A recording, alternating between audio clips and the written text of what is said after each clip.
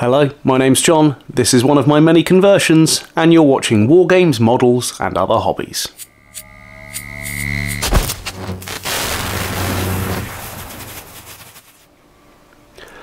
Hello and welcome back to another video. This is one of two videos today that are showing off some of my many conversions. As you've probably seen by now, I create various conversions and models, get them to a certain state, normally primed and ready for paint, and then they sit for a long time not going anywhere. And that's what this one has done specifically. This Genestealer conversion I did probably, I think it was for 4th edition Warhammer 40,000 when the Ymgarl I think I pronounced that correctly, the Ymgarl Genestealer rules were produced and they were mutating Genestealers. And I took some inspiration from some films like The Thing, where you have all of the kind of tentacles and gore flicking out of the creature to create this model. So let's have a little look at it and run through what I used. The legs themselves are from the last edition Genestealer model. The new Genestealers have come out, which I'll compare this to in a minute. Arms are mainly from the Genestealer sprue, but then the lower arms are from the Hormagaunt sprue, the old Hormagaunts, as are the claws. The body itself is a termagant body. The head is a termagant body, uh, sorry, a termagant head with the tendrils, the mouth parts from the old Genestealer kit.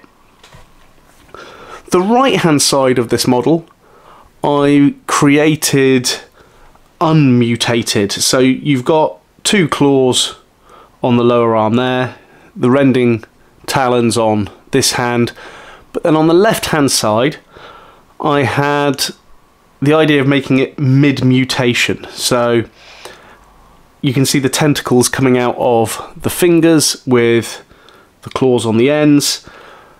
Likewise, the scything talon claws have now got tentacles coming out on there. Now this model has for some time just been sitting on my shelf and I thought it was about time to paint this up, especially now with Necromunda Hive Secundus coming out with Mutant Genestealers. I thought something like this might be quite apt for that. So in the not too distant future I'm going to do a simple paint scheme on this to complete this model. It's something I want aim to do now is complete the models that I've got because they do just sit there for quite some time once I've made them. Now to compare this to the new Genestealer, so I do love this new kit I really do love.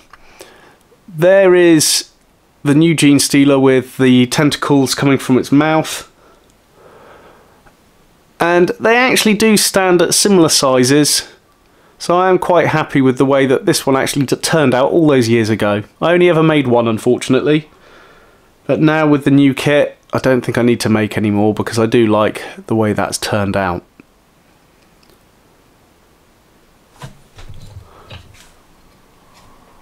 If you've got any ideas or thoughts about how I should paint this Genestealer, please drop a comment but for now, just want to say thanks for tuning in. I'll leave a link to the other video for today in the description. But for now, my name's John, and you've been watching War Games, Models, and Other Hobbies.